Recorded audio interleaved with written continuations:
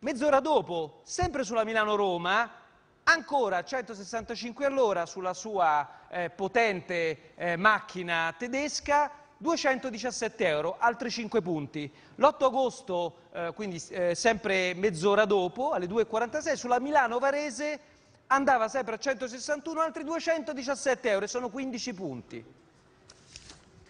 Ecco, questo qui è il verbale di accertamento. E questo qui lo riconoscete tutti perché è un bollettino.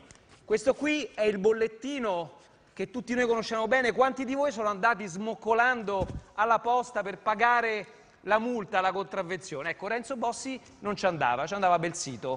Portava le multe della famiglia Bossi e fino a qua andava troppo veloce, va bene, se le faceva, ci andava al posto suo Belsito e va bene, il problema è che non le pagava di tasca sua, le pagava le multe con i soldi della Lega. E di chi sono i soldi della Lega? Sono i soldi nostri, i soldi dei rimborsi elettorali.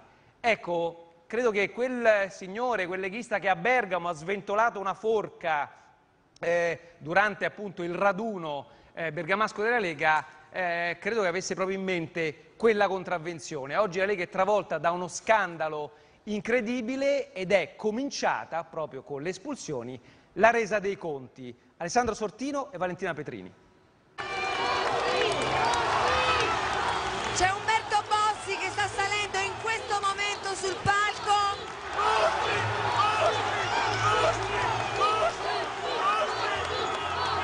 Le lacrime del padre e il SUV del figlio, pagato coi soldi del partito e lasciato sotto il pirellone per evitare i flash dei fotografi.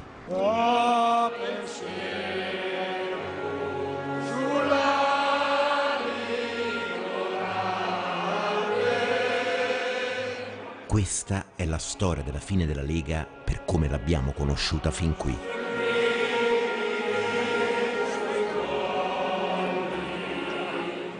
È martedì 10 aprile quando alla fiera di Bergamo arrivano i leghisti cosiddetti autoconvocati. E come si è sentito quando ha letto queste notizie?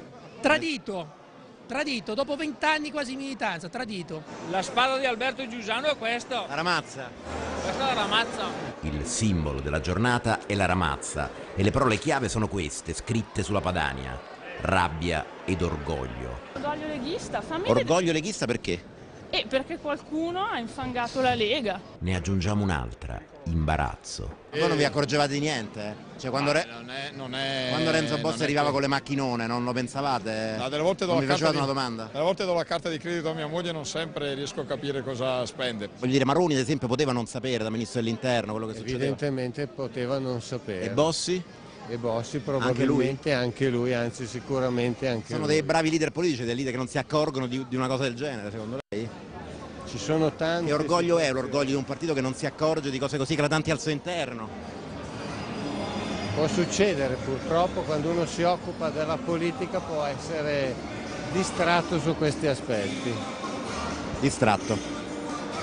Ma noi come popolo romagnolo siamo orgogliosi della nostra cultura e tradizione.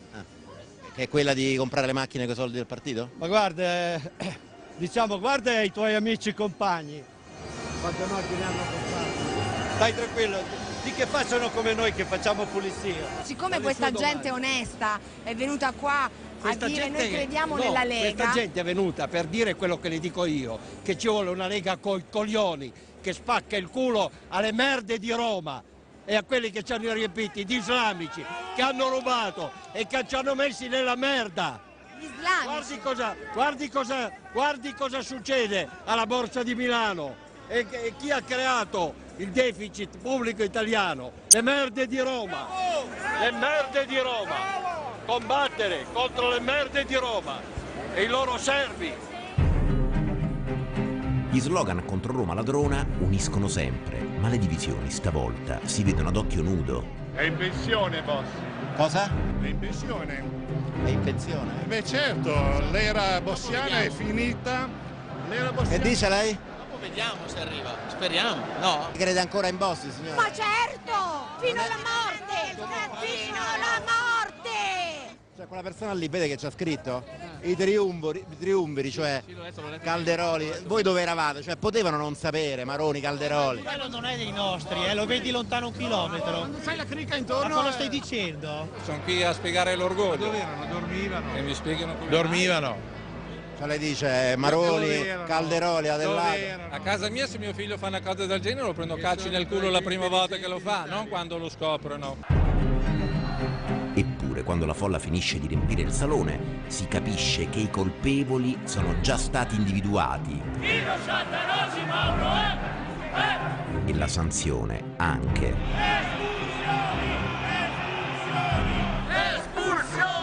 A Bossi e Maroni in Padania e quei quattro coglioni in Tanzania. Chi sono questi quattro coglioni? Cioè Renzo, Sì. Ro- Renzo Rosimauro. Poi? e Vai, eh, Dai che li sai, dai che li sai, dai che li sai. Per la folla, Rosi Mauro, probabilmente Reguzzoni e a seguire gli altri esponenti del cosiddetto cerchio magico devono essere mandati via. A un certo punto si spengono le luci e la regia della serata manda sul maxi schermo un comizio di repertorio per scaldare la platea. E poi all'improvviso si materializza sul palco proprio lui, Umberto Bossi. La folla lo acclama. Ma poi scandisce un altro nome.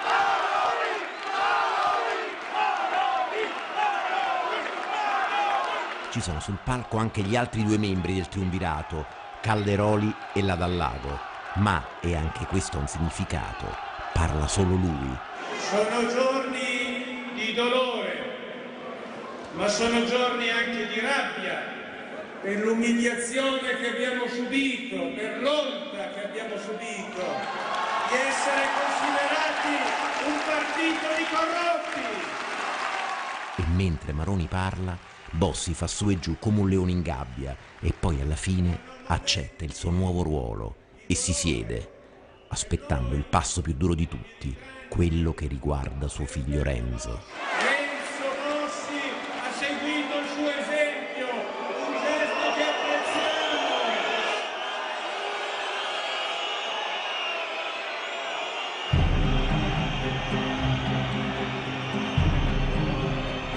leghisti brandiscono le scope, ma non è solo una questione di polizia, questa è la fine di una guerra di successione tra Renzo Bossi, il figlio del capo, e Bobo Maroni, il suo erede politico.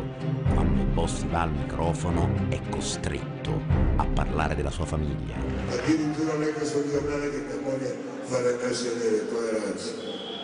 Insegna a scuola, non fa le messe nere. Umberto Bossi, per la prima volta nella sua vita politica, viene sul rissato dei fischi del suo stesso popolo. Anche per i miei figli li ho rovinati io, facendo entrare nella Lega.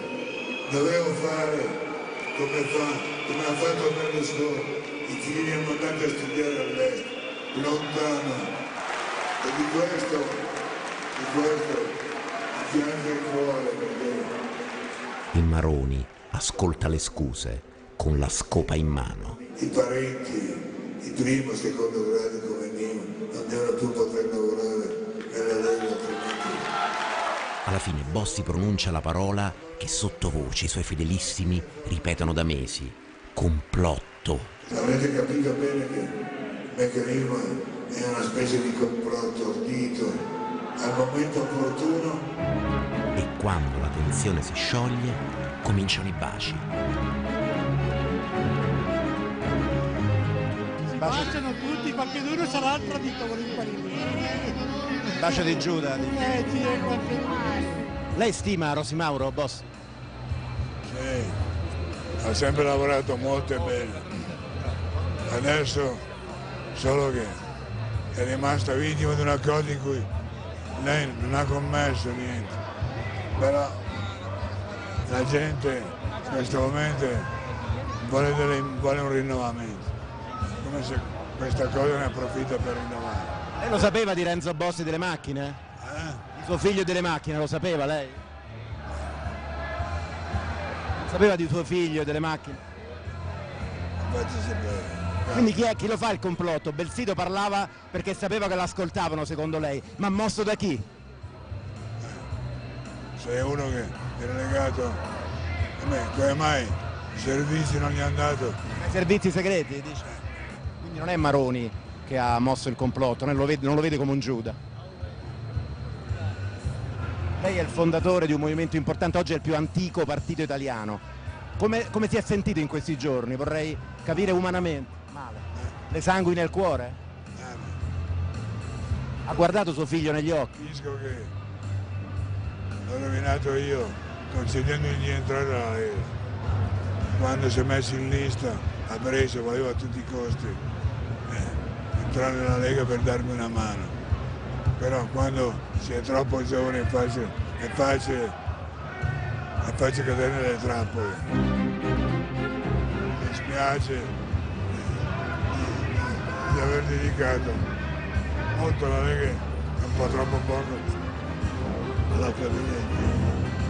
Eh, penso